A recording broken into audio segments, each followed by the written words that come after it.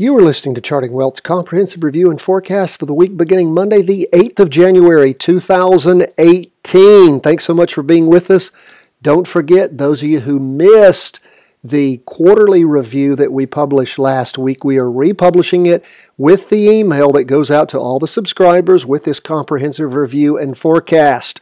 We'll also include in there a link to the quarterly training so you understand what the review's actually about. Those who've already taken it, you don't have to take that again, but you're welcome to. It's free and available to you. If you're not a subscriber, you need to be one. All you have to do is go to chartingwealth.com and sign up. It is priceless. It will not cost you a penny. We ask you to spend 10 minutes with us a day learning how to chart, charting, practicing using our daily market, weekly market, and trade worksheets, and become a charting master. This is not a get rich quick scheme. We hope it will be a get rich scheme for you. It is one that will require some practice and dedication, but all good things come to those who practice. Now, let's move through these charts, talk about where things are and where they may be going over the next week. Remember, we are not forecasters, we are trend followers. So let's delve into these charts. What do we see going on on the S&P 500 on the weekly chart? Up 0.67% for the day on Friday. And what do we see going on? Well, we have a big green open box up candle with a huge wick on top, portending lots of strong movement, which we saw over the week and continuing. Why? Because the price percent oscillator, which is our master indicator. Great training at the chartingwealth.com website on that. Please take it along with the Heikin Ashi candlestick training and everything else we have there. We see that it is it is spiked over and moving up and away from the red signal line, a good sign for continued up movement. We also see that the derivative oscillator has pretty much stabilized. It started going down on the week ending the 29th and is now sort of stabilized. Again, we had that prior down week ending on the 29th of, Jan of December, and now we have an up week. Now remember, that wasn't a strong down week because it was a red open box candle, not a strong red down candle. We see those back at the end of August of this past year. Those are strong indicators of down movement. The one this prior week, we talked about that during the course of the week. Sort of the caretakers were in charge. The people who run the market and such were on vacation, still enjoying their Christmas break and their New Year's break. But as we jumped back into this week, the exuberance started, things started moving up. Now we go from the weekly chart to the two day chart. What do we see? Well, we had had that pullback on the two day chart, and it switched back over for the two day candle ending on Thursday, the 4th. We're just into the latest half two day candle, just this one day. The candle will complete drawing on Monday, and we'll continue to monitor things. But now we have the schizophrenia has ended, things are back, and the two day candle is moving in the same direction as the weekly. We look at the four hour chart. We saw it crossover going up back on the morning of the 3rd, Wednesday, the 3rd of January, and has just continued to spike up all those movements well above the Bollinger Bands, which are stretching out, showing lots of volatility on that four hour chart. So we'll continue to watch things and see how this chart continues to rocket up. Remember, our last weekly vertical crossover going up occurred all the way back on the 29th of September and it has continued just spike up wildly since then. What do we have? A jumping point that fo- a jumping in point that following week of somewhere around the one the 250 mark, and up as high on this last Friday as 273.56 is about 24 23 and a half dollars a nice amount of appreciation on your practice trade from October to the beginning of January? I would say yes. That is quite sweet. That's the beauty of the weekly vertical crossovers. Now let's talk about that when what we saw, what did we see happen over the course of the prior week on the Qs. We had a weekly vertical crossover going down, a weird one, at the end of the prior week. We told you our rule is to look at the charts at 10:30 on Monday, see what they look like. There was no jumping in point at all because the markets were already spiking the following Monday. So even though we had a weekly vertical crossover, there was no ability to jump into it. So what did we do? We waited to see how the week would end up, and now we have a weekly vertical crossover going up. That will be going out to all of our members who are in the states that can receive our text messages. We will let that go out today texting everyone, letting them know to look at the markets on Monday for a jumping in point again at 1030 after idiot hour is over. That's the hour where the market makers have so much control of the market and we never jump in at the beginning of the market. We wait for things to settle out look around 1030 to see how things look. If the market's trending up, you might have a good jumping in point to practice a weekly vertical crossover going up. Now, the derivative oscillator is continuing to lose energy, which is strange. We did have sideways sliding action, some up movement, and then some down movement over the course of the week ending the 29th. But now that we've had the spike moving up, derivative oscillator has just not shown that the price percent oscillator has. So again, just keep your eye, be aware of that.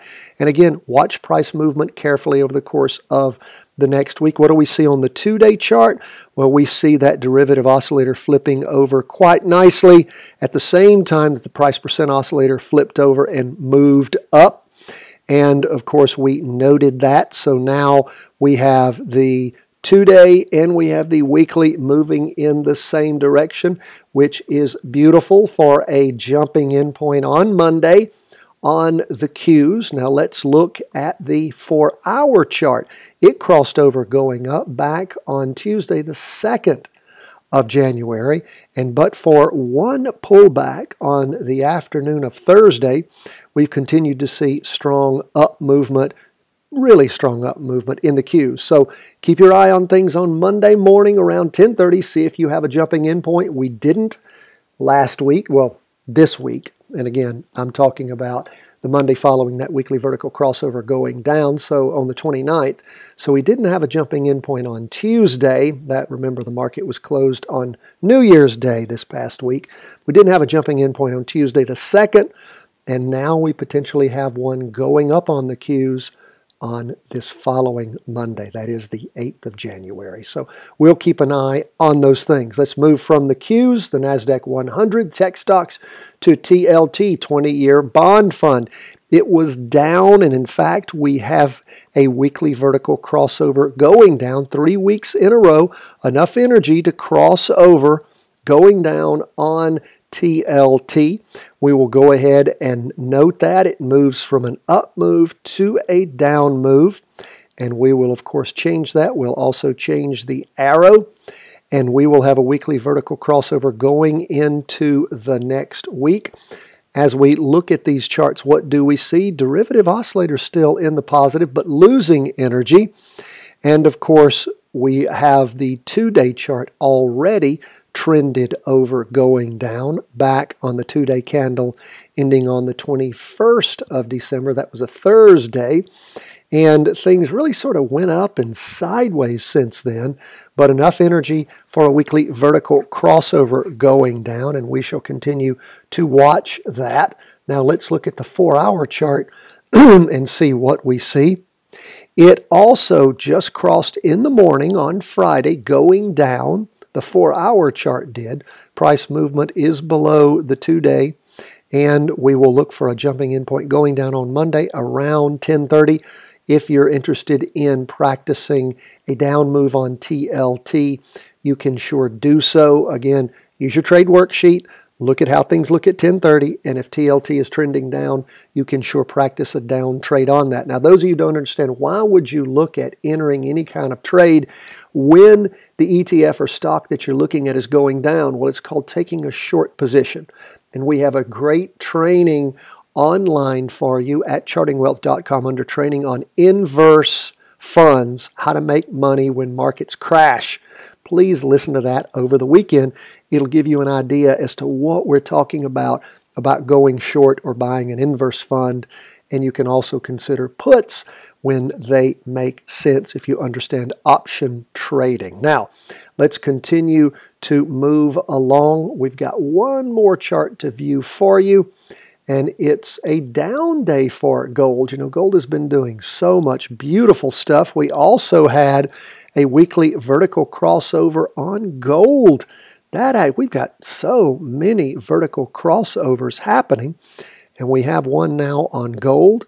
We have a vertical cross uh, that's going up, vertical crossover going up on the Qs, and a vertical crossover going down on TLT. Well, we end the week with a beautiful weekly vertical crossover. The uh, that's on the price percent oscillator, derivative oscillator, also crossed over, which is always a strong and good sign.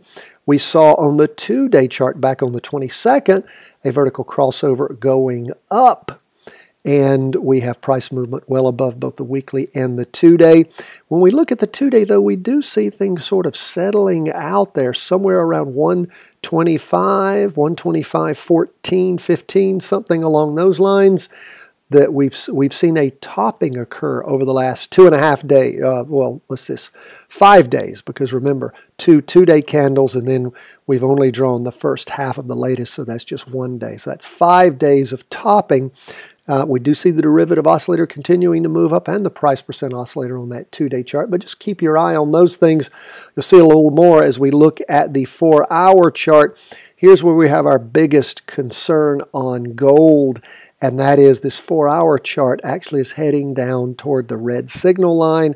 Little concerned about that. So gold has had such a huge climb, and remember how accurate the four hour chart has continued to be, even though around this time of year it typically stops being accurate. It crossed over going up back on the morning of the 14th and has continued to fly up with just a couple of pullbacks. But as we see, the blue price percent oscillator head toward the red signal line and the derivative oscillator crossover going down gives us some concerns. So be aware of that. Be very, very aware of that before you consider jumping in to any kind of up trade on Monday around 1030. Just be cognizant of it.